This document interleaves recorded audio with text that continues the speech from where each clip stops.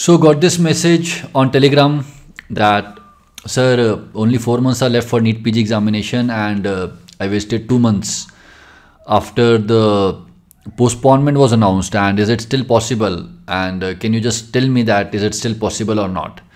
Now if you if you look at this question this is basically reassurance seeking. The person who is sending me this message is in all likelihood pretty anxious and see, this is what anxiety does. When we are anxious, there are two things that happen. First of all, our mind tells us the worst possible outcome. When you're anxious, your mind tells you that the worst possible outcome is going to happen. For example, in the case of entrance examination, your mind will tell you that uh, you would definitely not get selected, you will get a bad rank, everybody else will uh, clear the exam, everybody else will go into great colleges and good branches, and you would be the, the only one who would be left behind. This is one aspect of anxiety. And another aspect of anxiety is reassurance seeking. Somebody should tell me that you know everything would be fine. And when students send these messages to faculties, they are doing this only. They, they want somebody to tell them that everything is going to be fine.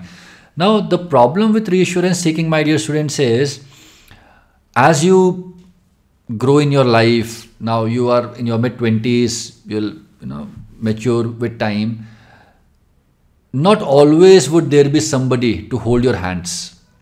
Not always would there be somebody to tell you that everything is going to be fine. And even if there is someone, when you are at your worst, when you are when you are at your you know when you're at the rock bottom, probably the help would not come at that time. So it's very important that we develop this capability of being our own help. If if your mind can create a negative thought, if your mind can create a thought that nothing is going to fall in place, the same mind can also answer to those negative thoughts. And this is a capability that you must develop.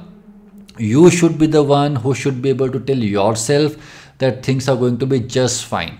Things are going to fall in place and I just have to continue working. I just have to start. I just have to get into the groove. I just have to get into the rhythm and things will start happening.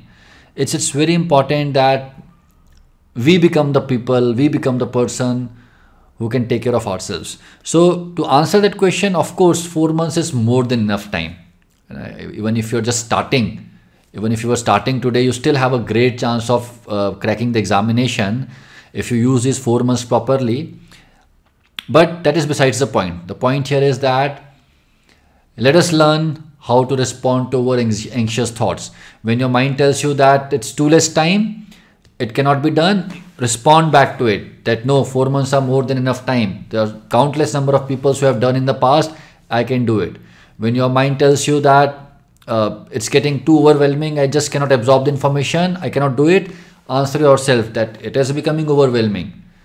Let me take some rest let me take rest for a day or two and then i'll start doing it again. It is difficult for everybody. Look at the social media. It is full of people asking questions and giving replies if everybody was so sorted out who is watching these videos? You are not alone. There are there are thousands and lakhs who are in the same boat as you are. Let us develop this capability of responding back to our thoughts because you know when you when you respond to your thoughts in a logical manner those thoughts the negative thoughts lose their potency and they're not able to impact you. They're not able to make you anxious. They're not able to you know uh, bring your morale down you yourself can respond back to those thoughts in a proper way and you know keep your spirits high.